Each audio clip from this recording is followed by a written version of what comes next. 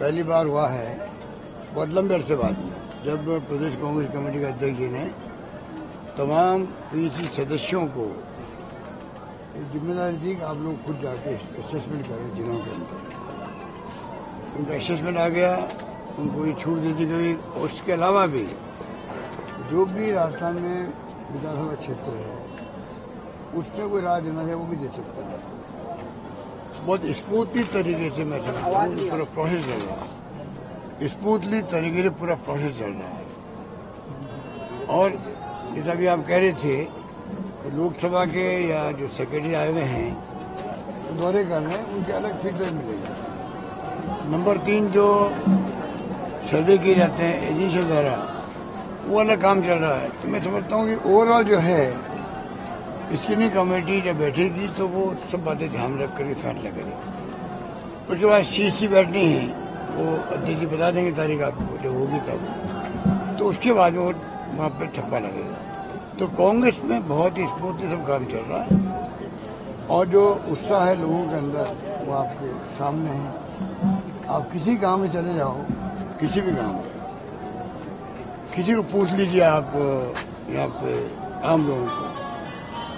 तो वो ये कहेंगे कि सरकार के खिलाफ में कोई एंटी इनकमेंट नहीं है। सरकार के विरुद्ध में कोई लहर नहीं है। सबसे बड़ा पॉइंट आज राजस्थान के अंदर ये है। सारी स्कीमों को लोग वेलकम कर रहे हैं। सरकार विरुद्ध लहर जो होती है, या सरकारें चलती है, वहाँ लहर होती होती है थोड़ी बहुत।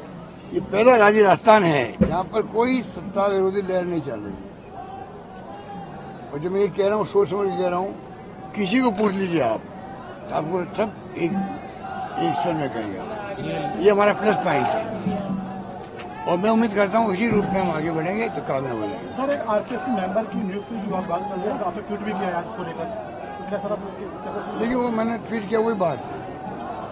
क्योंकि देखिए पेपर आउट बड़ी बदनामी वाली बात होती है। गुजरात में भी हो रहे हैं यूपी में हो रहे हैं। अधिकांश राज्यों में पेपर आउट हो गए। आर्मी के अंदर हो गए। या जुडिशरी में हाईकोर्ट के एग्ज़ाम होने वो रोकने पड़े। ये चिंता करें सबके लिए होना चाहिए सोसाइटी के लिए होना चाहिए, समाज के लिए होना चाहिए। जो छात्र मेहनत करते हैं, और जब मौका लगता है तो मालूम पड़ता है कि आप पेपर लीक हो गया। क्या बीतती है उसके ऊपर?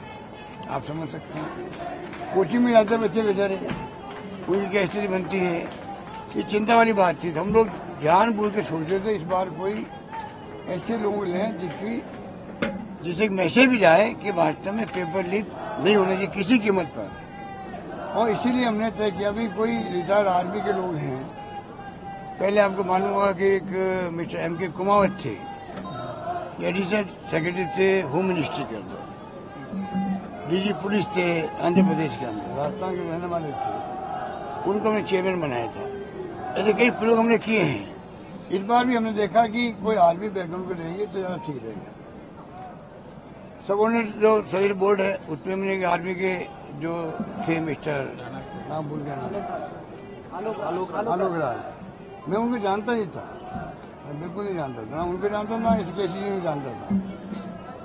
केसी जी ज़रूर आए थे एक बार, टिकट की मांग करने, मकराना से आए थे। अभी तैयारी बताई था कि मेरी तैयारी यही है। तो मैंने बात उनकी सुन ली बस। इतनी हमारी परिचय था। ना तो उन्होंने खुद ने मांग करी आर की, दोनों ने। ना किसी सिफारिश करी। हमने उचित समझा कि बहुत टाइम बीत गया अचानक लागू हो जाएगी। उसके पहले अगर हो जाता है दो महीने और बच जाएँगे क्योंकि हमने तीन लाख सर्विसेज़ का काम शुरू कर रखा है। अधिकांश नौकरी लग चुकी है। बाकी बाकी का काम चल रहा है। तो हमारे दो महीने की चुनाव की दंग, दंगल के अंदर और लोग सफ़र क्यों करें?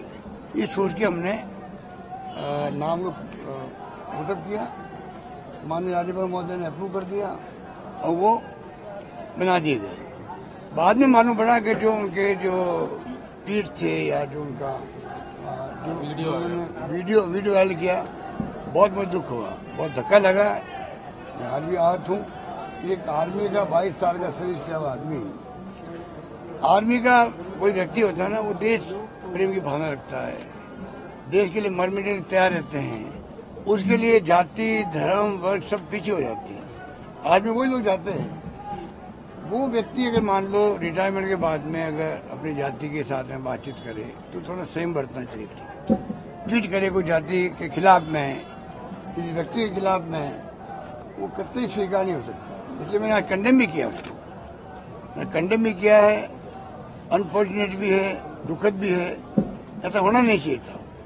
क्योंकि आरपीएस मेंबर बन गए तो मुझसे भी तो मिले भी नहीं है कटती कॉल भी नहीं हो पाई है। हमने प्रयास किया भाई उनसे वापस बुला के बातचीत करें, पर वो अभी आ नहीं रहे तो अनफॉर्चुनेट घटना हो गई और मेरी ही हुई है। मैंने ही जो जानबूझ करके आर्मी के बैकग्राउंड के को लेने के लिए मैंने ही जो बॉर्डर थे, उसके अकॉर्डिंग टू थोड़ा लालच भी था कि हमारी एक सीट मकान खराब क्यों हो। तो चलो बैकग्राउंड अच्छा है, जो लिखा हुआ था भाई बाईस साल की सर्विस है, हमने नाम रिकमेंड कर दिया और वो घोषित हो गया। उसके बाद बहुत